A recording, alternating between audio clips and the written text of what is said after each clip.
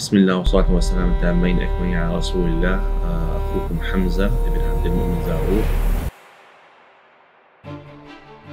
شركة العمارة المتخصصة. تراكم يبدأ من الأسباني إلى مصنع الأكسية الفنار. عندكم أي استفسارات؟ حيردوا عليكم في ال comment نفس المقطع. الله يسعدكم يا شباب يعطيكم ألف عافية. اليوم بإذن الله تعالى حنتكلم عن اسعار وأسرار السيراميك والرخام. طريقة اختيار السيراميك والرخام بطريقة صحيحة. حيكون معنا الأستاذ حمزة بإذن الله تعالى وحيعطينا التفاصيل والأسرار. طبعا أخواني الأفاضل أبونا يوسف له عظيم الشكر على استضافته الطيبة ويعني على اهتمامه في هذا المجال وتوجيه نظر المشاهدين أو نظر عامة الناس نحو معلومات عن في مواد البناء وفي السيراميك والبورسلان نحن الآن في أحد الشركات للرخام. ما شاء الله تبارك الله لها خبرة في نفس المجال أكثر من عشر سنوات.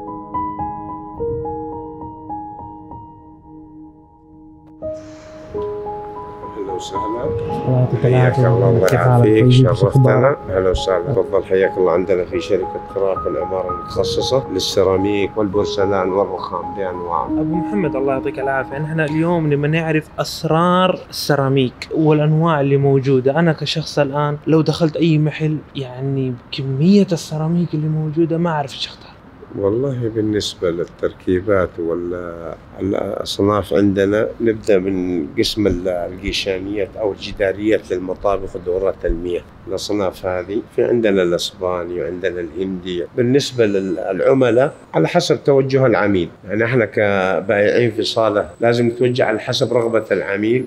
وش يطلب العميل. فعندنا أصناف كثيرة. بالنسبة للبورسلان عندنا شركات كثيرة. عندك البورسلان بجميع أنواعه ومقاساته. في عندك المقاسات 60 120 60 في 60 80 في 80 120 في 120 تراكو.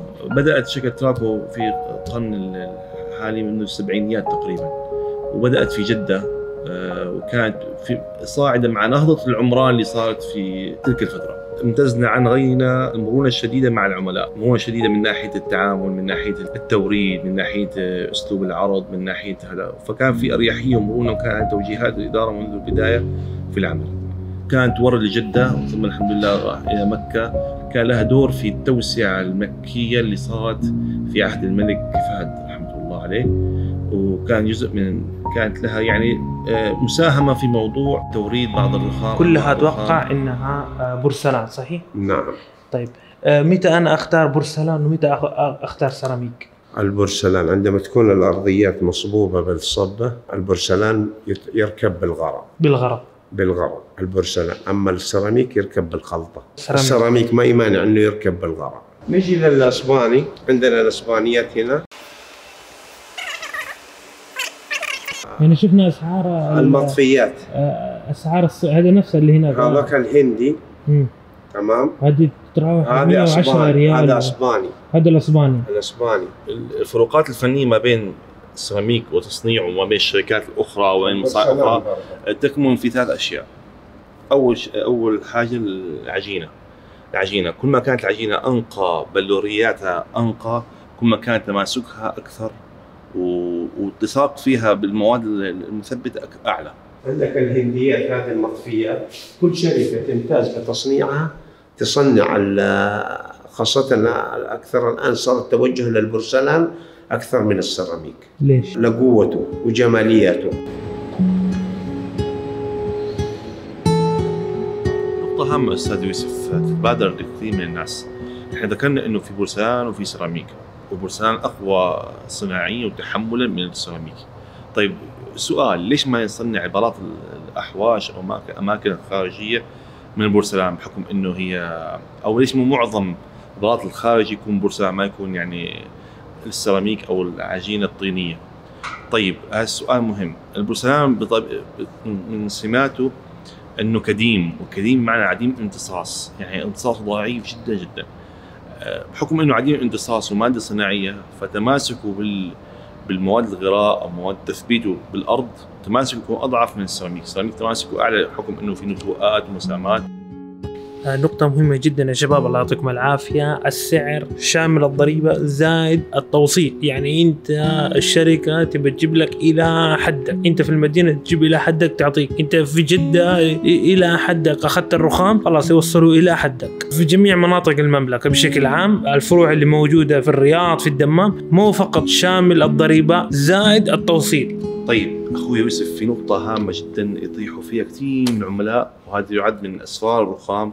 أو أسرار فهم إيش هو الرخام، الرخام بيجي منه درجات. نفس الرخام نفس النوعية درجات. deluxe super deluxe نخب أول نخب ثاني نخب ثالث التقسيمات هذه مبنية على عدة أمور. آه، المقلع أو الجبل اللي استخرجوا منه بيطلع عنده مثلا كمية. هذه الأشياء يخطئوا فيها كثير من العملاء. يحسب النخب الأول أو الثاني أو إنه فقط في موضوع البلاطة نفسها وإنه هي صافية وما هي صافية. لا الرخام كل أنواعه معظمه بيجيك فيه يعني ما بيجي حبة زي أختها ابدا اطلاقا لأنه الجبل بيقصوا جبل. النخب الأول هو فرز الطبلية كم كم فيها حبات مختلفة. النخب الأول زي قلنا في بعض أنواع الرخام 60% بس نخب أول فيها في نوع رخام ثاني 90% طيب 90% و60% هذه فين؟ تفرق في الطبلية. في 100 حبة طبلية 60% منها متجانسه و40% منها آه، بيكون لونها فيها عروق وفي هذا. يا إخوان الله يعطيكم العافية. نحن بنتكلم عن الرخام. لابد أنا بشوف شخصيا إنك تركز على موضوع الألوان وبالذات الألوان اللي بتعكس الحرارة. نحن هنا في المملكة العربية السعودية بشكل عام عندنا درجات الحرارة مرتفعة جدا. يعني نحن نشوف زي ما قال الأستاذ حمزة إنه بنشوف الحرم الم- المكي آه، كله أبيض. ليش أبيض أساسا؟ ليش إنه الحرم المكي ليش ما أختاروا لون قمحي أو لون مختلف تماما؟ لسبب إنه اللون الأبيض عاكس للحرارة، فهذه نقطة مهمة عندك جدا. الأنواع هذه 45 في 45 زي ما قلنا لك للاحواش عندنا من عدة شركات مجالات مصنع الدار عندنا مصنع الفنار اكسيا في منه البورسلان وفي منه السيراميك عندنا مصنع الخزف السعودي برضه تمام؟ وهذه مصنع كله الخزف السعودي وأنواع أسبانية. هذه بالنسبة لقسم الأحواش. عندنا برضه من مصنع الفنار سماكة 2 سم ضغط 1000 كيلو يتحمل الضغط يعني. زي المنطقة المركزية عند الحارة الخارجية والمناطق ليش؟ لقوه لقوة تحمل الضغط. شوف سماكتها كيف؟ سماكة البرسلان كيف؟ مع قوة الضغط تبعها. هذه تحمل ألف يعني اختبارها متحمل ألف كيلو. كل ما كانت حجم البلاطة أصغر كل ما تحكم المبلط في حج- حجم الميول. ميول المويه. ميول الموية نعم. ما يتجمع فوق الأسطح الفئة هذه من السيراميك يسموها تراكوتا. تراكوتا مصطلح آه، تجاري يعني أو معروف في المصانع وبين عموم محلات السيراميك. هنا وفي خارج السعودية التراكوتا هو السيراميك المخصص لاماكن خارجيه عليها ضغط وحرارة وشمس نعم. مصمم بيكون معالج يعني حراريا معالج الطبقة العليا منه معالج معالج قوي بحيث ثبات اللون. آه، ينزلوا كمان موضوع إنه ال glaze الوجه وجه البلاطه ما يكون فيها عليه سمكه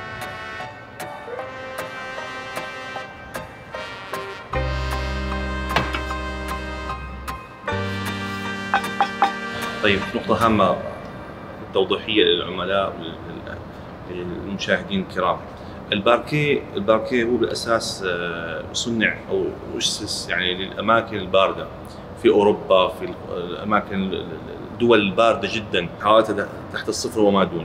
ما هو شرط إنه يكون السيراميك أو البورسلان اللي بتاخذه يكون لمعان؟ ما هو شرط هذا مو شرط إنك تأخذ إذا شفت لمعان هو اللي حتأخذه لا. على حسب التخطيط اللي أنت بتسويه على حسب تخطيط المطبخ على حسب في تخطيط الص- أنواع يمكن يكون برسلان أو سيراميك. وتجمع قطع وتعطيك المنظر الجمالي هذا تكون واجهة سواء في ال- الاستقبالات الفنادق الكبيرة الفخمة تكون في صالات الأفراح تكون عند مثل صالات في المنازل صالات مساحات مفتوحة كبيرة وعلى حسب رغبة العميل وتركيبه. أبو حمزة الله يعطيك العافية. نحن شفنا سجاد السيراميك والبورسلان نحن الآن لما نتكلم عن موضوع الرخام هل الرخام في منه سجاد؟ الرخام في منه سجاد ممكن نعم ممكن الرخام يعني يستعينوا بإنه يوضعوا الرخام بعدة ألوان ياخذوا أنواع رخام بكل كل نوع بلون ويدمجوهم مع بعض بلوحة فنية بتصميم جمالي بعدة بعدة وسائل يعني في لوحات سم- تسمى لوحات ودر جت يعني في في نوع زي كده يباع. أيوه نعم. في مثلا أنواع ثلاث أربع أنواع من الرخام كل كل نوع مثلا بلون.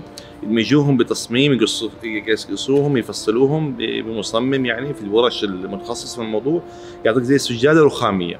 طبعا هذه تكون مكلفة أكثر بحكم إنه الرخام يعني مادة طبيعية أو مكون طبيعي فتلاقي التكلفة يعني أعلى. سيراميك إسباني ونفسها الآن بجوارها برسلان إسباني. 64 ريال 66 ريال. أنت كيف تفرق بين السيراميك وبرسلان بين السيراميك والبرسلان غالب غالب السيراميك بيكون زي ما قلنا فيما مضى إنه آه يعني هو مص- مصنع كعجينة أو كمخلوط آه طيني أو رم- رمل. يعني رمل مخلوط ومضغوط. فإذا لقيت خلفيته لون- لونه أحمر خلفية السيراميك لونه أحمر يعني ميال للطين فهو غالبا حيكون سيراميك. يعني يعني دائما السيراميك بيكون ميال للون الطيني الأحمر لو لاحظت لو صورت هنا أستاذ يوسف في خلف البلاط أو طرف البلاط حتلاقي إيش؟ من الطرف هذا مثلا أو الطرف اللي هناك السيراميك حتلاقي لونه على حمار أو لونه لون قرميدي يعني فهو هذا سيراميك بينما البورسلان بحكم إنه هو مواد صناعية آه، مصنعة آه، فتلاقي خلفية أو العجينة لل- للبلاطة أو للبورسلان تلاقيه لونها فواتح يعني لونها غالبا فاتح لونه اسمنتي يعني concrete أو كذا يعني اللون ميال ل يعني يكون صناعي أكثر من يكون طبيعي. لاحظت النحت والدخول وال- والعمق يعني في عمق يعني في نحت وفي في حفر يعني في الموضوع. طب هذا ينفع يكون سيراميك كذا نحت؟ ينفع بس هي ضعيف مرة. ليش؟ لأنه السيراميك زي ما قلت لك هو مهما كان شيء طيني يعني طين مضغوط. أما بورسلان حكم صلابته مرحلة أخرى صلابة عالية جدا فبتلاقيه ينفع يكون نحت.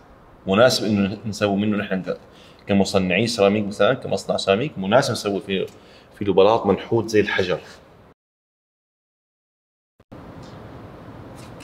غطينا معظم الأمور سعدت قيمة الله يبارك فيك. والله أنا يعني لا يقول النبي صلى الله عليه وسلم حديث شريف لا يؤمن أحدكم حتى يحب لأخيه ما يحب نفسه. فانا كما أحب نفسي.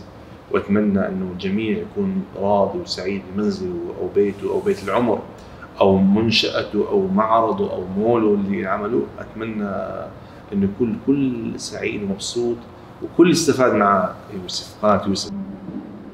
زي ما انكم شايفين يا شباب نحن الآن بنصور في آخر الليل. تصوير تقريبا أخذ معنا يومين في أسرار السيراميك والرخام والبرسلان. والحمد لله غطينا شيء كبير جدا منه. الله يسعدكم. أعطوني رأيكم في التعليقات. تواصلت مع إدارة ال- الشركة إنه أي استفسارات على موضوع ال- البرسلان الرخام السيراميك عندكم أي استفسارات حيردوا عليكم في ال comment نفس المقطع. أعطوني رأيكم عن المقطع. نشوفكم في المقاطع. القادمة. يعطيكم ألف عافية. سلام سلام.